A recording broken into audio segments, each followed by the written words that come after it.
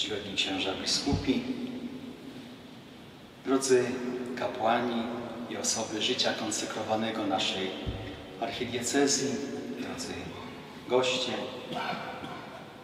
szanowny panie konsulu generalny Rzeczpospolitej Polskiej w Lwowie wraz ze swoimi współpracownikami, szanowny panie pośle Kazimierzu, umiłowani bracia i siostry. Dzisiejsze zgromadzenie liturgiczne przenosi naszą myśl do Jerozolimy i nakazuje spoglądać w stronę wieczernika, który dla nas kapłanów jest miejscem szczególnie ważnym, ponieważ to tam zrodziła się nowa ofiara i nowe kapłaństwo.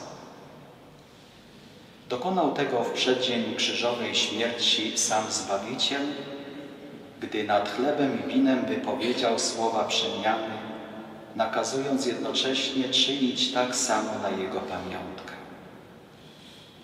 Ustanowiona w ten sposób Eucharystia jest wyrazem miłości, o której święty Jan Apostoł napisze, że to właśnie w ten sposób do końca nas umiłował. Zatem jesteśmy tutaj, aby za tę miłość podziękować i odnowić nasze przywiązanie do tej miłości, której sługami staliśmy się dzięki Bożemu powołaniu. Dlatego zatrzymajmy się na chwilę nad darem powołania, którego jesteśmy uczestnikami i przeanalizujmy go idąc za głosem świętego Jana Pawła II, który tak mówi o kapłańskiej posłudze. Zauważmy, że gdy Chrystus mówi to czyńcie, to nie mówi tylko głoście, opowiadajcie, lecz mówi czyńcie. I to słowo jest decydujące. Kapłaństwo jest sakramentem czynu. Jest sakramentem Chrystusowego, zbawczego, odkupieńczego czynu, który w wieczerniku został oddany w ręce apostołów. A poprzez dziedzictwo apostolskie, poprzez sukcesję, która trwa w apostolskim Kościele, czyn ten został oddany w nasze kapłańskie ręce. Mamy przeto spełniać czyn Chrystusa na Jego pamiątkę. Poprzez to, co czynimy w eucharystycznej posłudze chleba i wina, ta pamiątka staje się uobecnieniem własnego czynu Chrystusa, Jego śmierci i zmartwychwstania. Całej Jego paschalnej tajemnicy, z której bez przerwy rodzi się Kościół, ciało Chrystusa. Rodzi się, żyje i wzrasta. Jesteśmy więc szafarzami tajemnicy największej i najświętszej, powołani poprzez sakrament kapłaństwa do szczególnej służby całemu ludowi Bożemu w Kościele. Działamy in persona Christi. Działamy, a więc i żyjemy. Każdy chrześcijanin jest alter Chrystus przede wszystkim z racji chrztu, który zanurza w życiodajnej śmierci Chrystusa. A cóż powiedzieć o kapłanie, który tę życiodajną śmierć co dzień sprawuje, działając in persona Christi. Dlatego pomyślmy, na cośmy się odważyli w dniu naszych święceń. Pomyślmy, czegośmy dostąpili. Pomyślmy, co nam Pan uczynił i stale czyni. Jesteśmy szafarzami Jego śmierci i zmartwychwstania. Jesteśmy szafarzami wielkiego oczekiwania Kościoła, który żyje wiarą i nadzieją ostatecznego przyjścia. Ostatecznym przyjściu Pana wypełni się przeznaczenie całego stworzenia. Zanim to nastąpi poprzez nasze kapłańskie ręce, On, Odkupiciel świata, codziennie oddaje się Ojcu w Eucharystii. Oddaje wszystko, co stworzone. Jest wszakże Zbawicielem świata.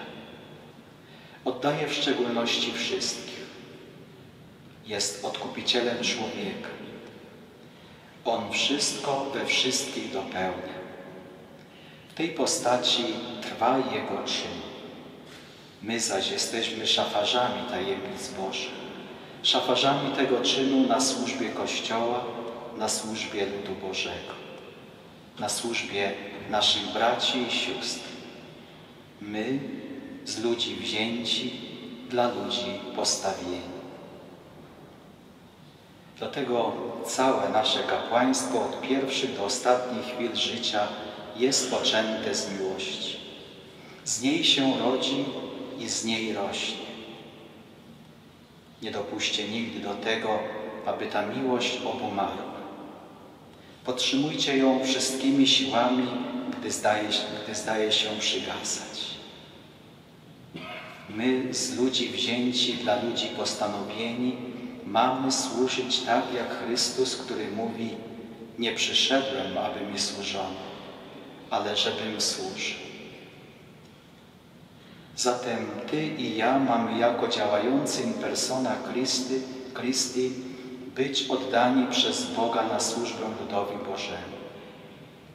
Wszystkie nasze siły duszy i ciała muszą służyć ludowi, który ma prawo do naszego życia, do naszych oczu i warg kapłańskich, do naszych do dłoni ofiarniczych i nóg apostolskich.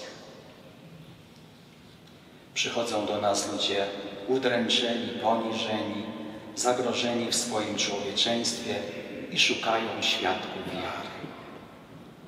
Niech ich znajdują w nas, w naszym nauczaniu, w naszej cierpliwości i wyrozumiałości, w naszym poświęceniu dla dzieła zbawienia.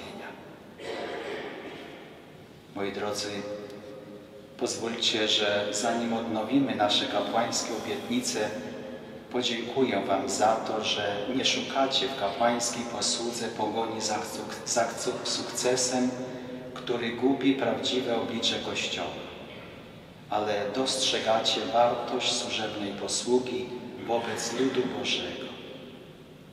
Dziękuję Wam wszystkim za troskę o wspólnoty parafialne, za katechizację dzieci i młodzieży, posługę wśród chorych i duchowy wzrost całej wspólnoty.